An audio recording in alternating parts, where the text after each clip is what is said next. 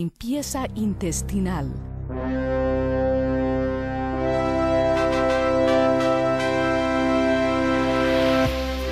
Según los expertos, la mayoría de los trastornos de salud son a consecuencia de un colon tóxico.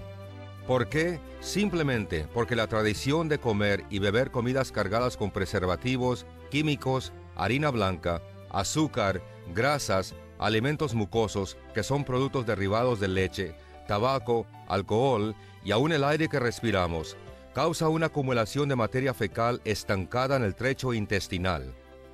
El colon es un sistema de desagüe, pero por negligencia y abuso se convierte en un basurero.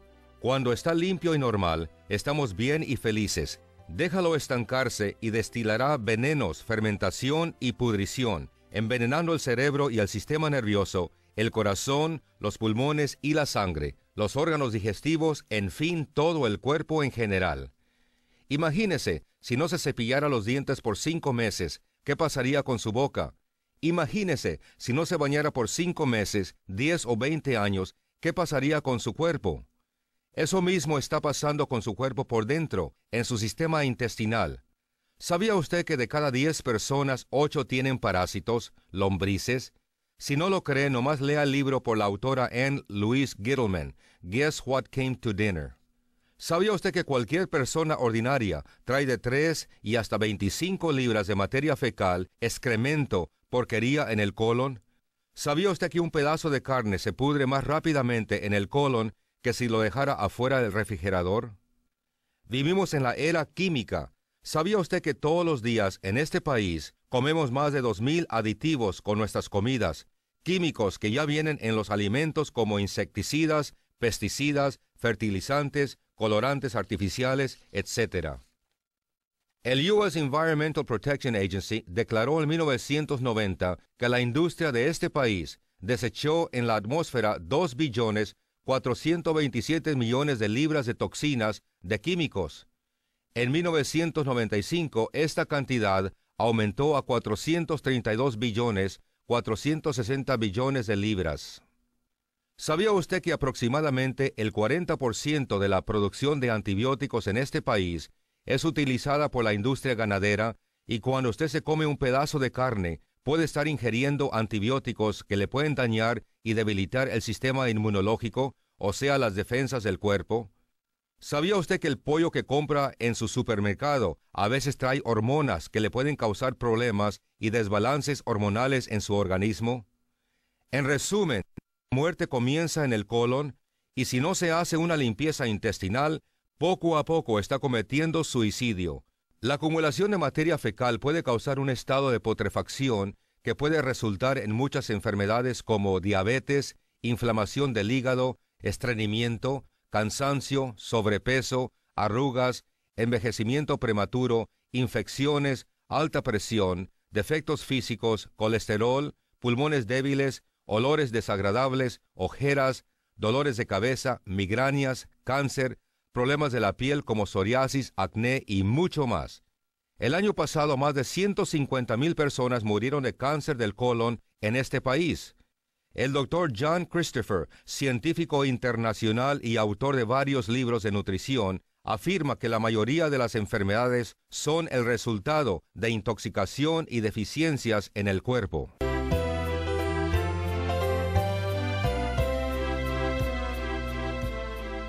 Les voy a contar lo que me pasó a mí cerca de 10 años pasados. Me encontraba yo en un mal estado de salud, como muchos de ustedes se encuentran ahora. Estaba perdiendo el pelo, tenía la barriga grande, ojeras, me olían los pies, no importa cuántas veces me bañara.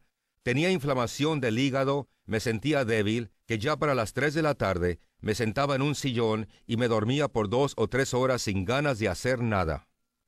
Entonces hice lo que muchos hacen. Llamé a mi doctor e inmediatamente me internó en el hospital para hacerme una serie de exámenes. Después de tres días de ponerme agujas, sacarme sangre, tomar radiografías, etc., los médicos me informaron que me habían encontrado un problema con el colon y que dentro de seis semanas pensaban hacerme una colostomía, o sea, cortarme de 12 a 16 pulgadas del colon. Decepcionado me fui a mi casa y una tarde, dos días después, Pensé en matarme, pero gracias a una amiga que supo de mi problema, me recomendó que me hiciera una limpieza intestinal.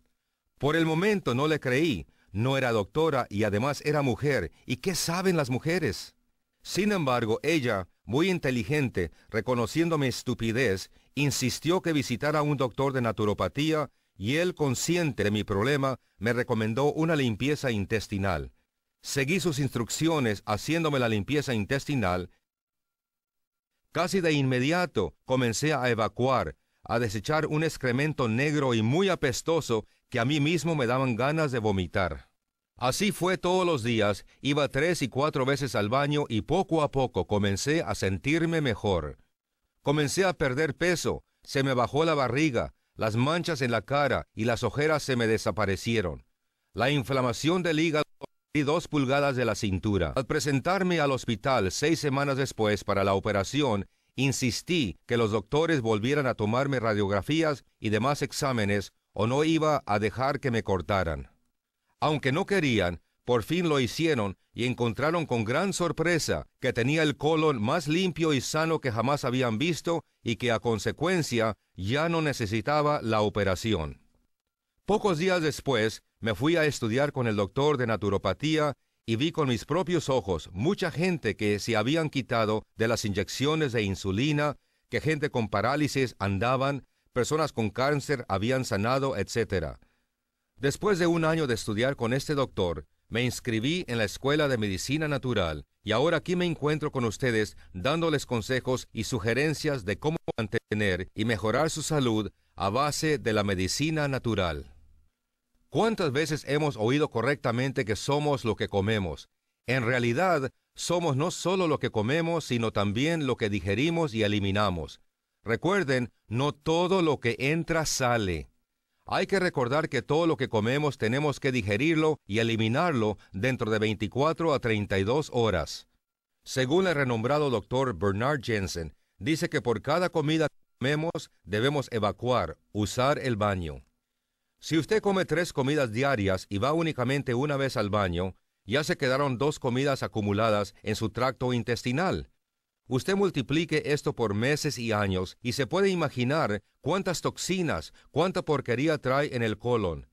En un estudio publicado en julio de 1991, el doctor Mikosi, director asociado del Instituto de Patología en Washington, declaró que el estreñimiento crónico aumenta el riesgo de cáncer en los senos de la mujer.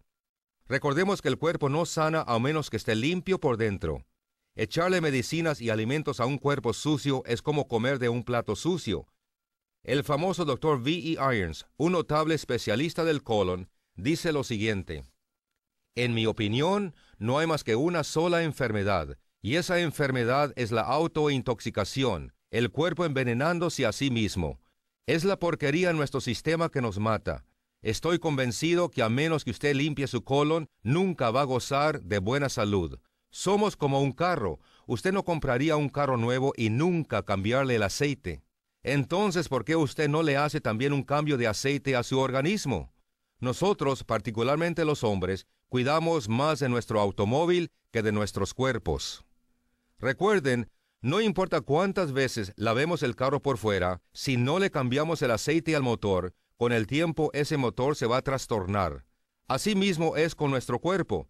Todos los días al levantarnos nos bañamos, limpiamos el cuerpo por fuera, pero nunca se nos ocurre limpiarlo por dentro. Y ahí está el detalle como decía Cantinflas.